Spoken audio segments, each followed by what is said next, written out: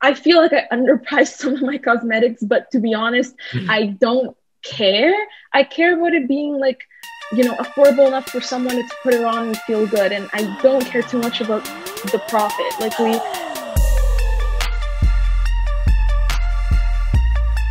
Let's jump in right into the conversation. We, as we said in our little introduction there, you're the CEO and founder of Habiba's Beauty Bar. So tell me about a little bit about what that is and how that started. No, for sure. So Habiba's Beauty Bar is a vegan, um, cruelty-free cosmetics brand. Everything is made here in Winnipeg. It's actually made in my house. Um, I kind of took on this venture with Sophia Peralta. She's this amazing business student. And one day I was just doing makeup, like when first before quarantine started and the whole COVID thing started, I was doing ma- her makeup for the photo shoot. And I was telling her about this passion of mine, and she was like, You're not starting this without me. Do hmm. not start this without me. And we just suddenly became partners, kind of like non officially, but she's definitely my partner. I consider her so. Um, and yeah, it's been a wonderful journey just making and selling cosmetics and getting to know people through that. That's awesome. Um, where did you like come up with this idea? Um, basically, how it all started is that in summer 2019, I went back to Egypt. This is where I'm from. And over there, I, I really saw a need for, um, you know, there wasn't a lot of like, you know, cosmetic brands that took into um, consideration things like, you know, nature, you know, animals, cruelty free, vegan, to actually make sure that it's not it ha- doesn't have very bad kind of environmental impact. And I was doing people's makeup and just seeing that they felt empowered and felt confident just by me doing something so simple, really just had got like given me the idea to just go for it and and consider making my own cosmetics and, and seeing how that goes. So I um I took the idea and I learned a lot about how to do that, how to, you know, do all the business legal stuff, how to learn the actual craft of it. And of course, I'm no expert, but I just, you know, I found some basis and I found some things, and then I had a little lab at my house and figured everything out, and it was really wonderful journey. So, uh, were you always into makeup, like as a as a kid and just growing up, and that was just like your uh, it made sense to start a business out of it? Or... Um, for me, like uh, basically um, throughout high school, I have always felt like I I wanted to do um, I wanted to do something that was meaningful. To me at the time, makeup was an outlet for me to, you know, just experiment with. Um, I loved kind of trying on different looks, and it made me feel really empowered when I put it on. Like when I put on, which sounds a little odd like i am confident I'm, and, and i'm and already without makeup right but it's it's just that it made me feel a little extra something and and that feeling when i started doing other people's makeup just inspired me to like really pursue my love for for the craft. And and that translates i feel like that love once i discovered it it translated into so many avenues in my life of being able to make an impact help others and and and throughout a way of of i guess um I wouldn't say beautifying because I feel like everybody's beautiful, whether it's makeup or not, but just designing something and building something to make others feel included, um, to make others feel like like confident, empowered, all that just translated into different parts of my life after. Wow. That's amazing, right? Because not a lot of companies, for example, like Mac, would not look into the sustainable output of their product, right? Like if it's impacting the environment or for me, like I'm not a beauty guru, right? I, I don't know a bunch of these makeup brands and what their brand association is, but just mm-hmm. having that, why was that so important for you to be sustainably outlook for your products, making sure that it's vegan, environmentally friendly? Why was that so important for your products? So that was very important for my product because I believe in in in being I, I feel like when something is made with care for everything around it, it really translates when people use it. They feel like they're cared for. They feel like they're also giving back somewhat to the environment. Like you have the option between choosing something that is, you know, tested on animals versus something that is not, right? And when you make that simple decision, it makes you feel better too.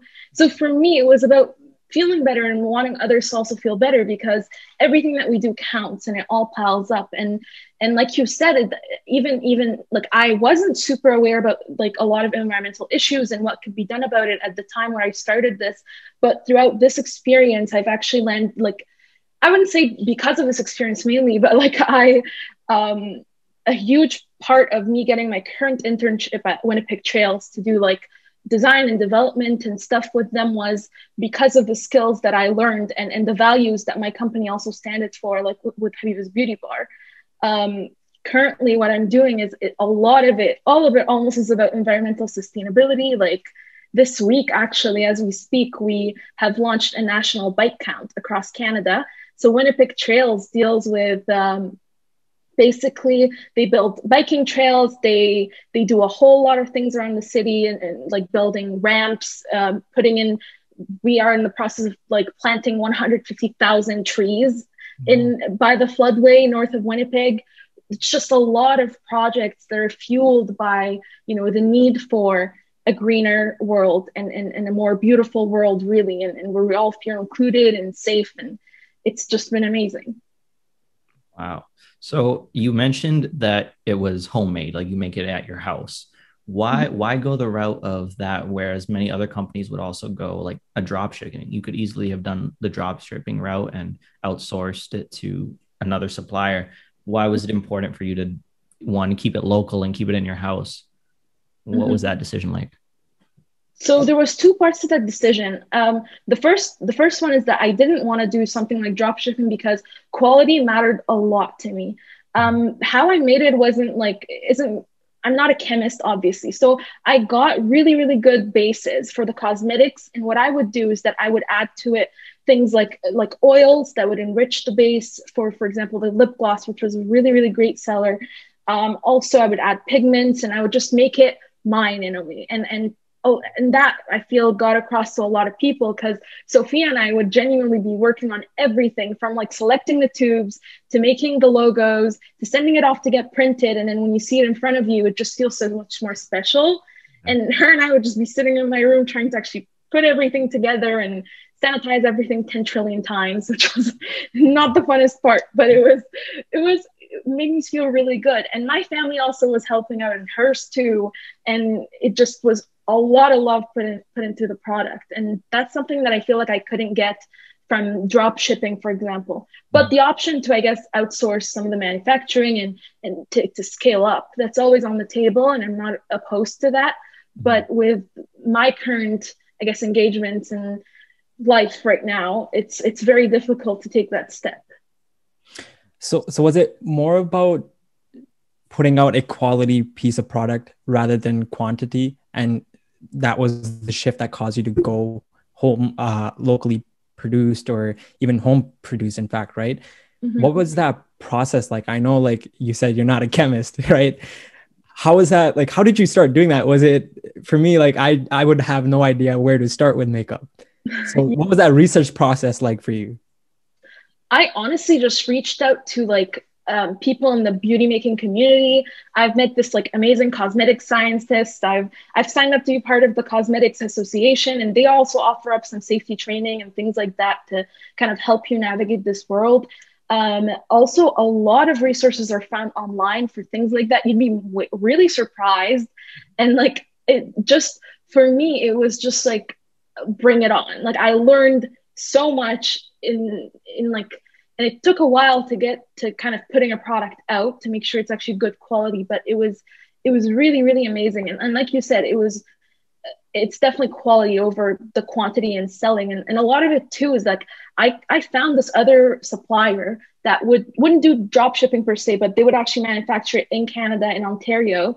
Um, it's also sustainable, uh, like cruelty free, vegan. I can definitely guarantee the quality because it's in Canada as well. And like we have very strict regulations in terms of what to put into cosmetics and, and other things. So I I looked at that, but the cost was not the cost, actually, sorry, the price of selling it would be so high.